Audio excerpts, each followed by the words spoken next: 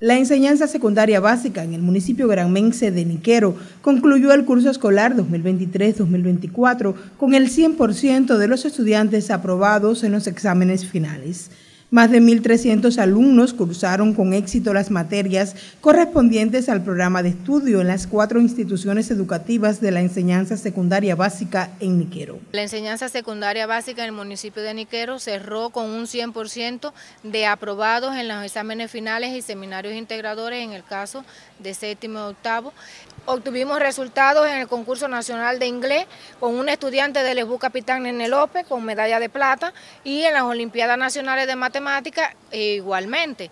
Eh, con respecto a la formación vocacional y orientación profesional, en la enseñanza se estuvieron trabajando los dos cursos de formación vocacional donde a través de las exposiciones de los círculos de interés tuvimos captaciones directas para las especialidades de enfermería, maestro primario, primera infancia e inglés. En estos momentos se desarrollan los seminarios preparatorios para el próximo curso escolar en las instituciones educativas de la enseñanza secundaria del municipio granmense de Niquero. Ya en las instituciones educativas se están trabajando con los seminarios preparatorios para el curso escolar 24-25, donde se van a trabajar los balances de los objetivos por cada institución educativa alcanzado en el curso.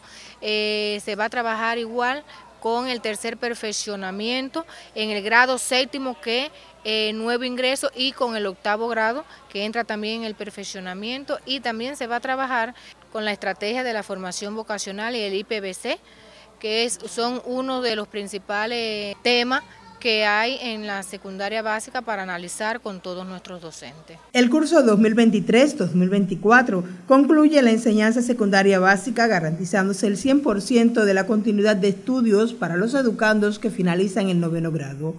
Los cursos vocacionales del Palacio de Pioneros y la labor de educadores y padres permitieron cerrar con éxito el periodo lectivo en el municipio granmense de Niquero. Hortensia Cardellá, para el Sistema Informativo de la Televisión en Granma.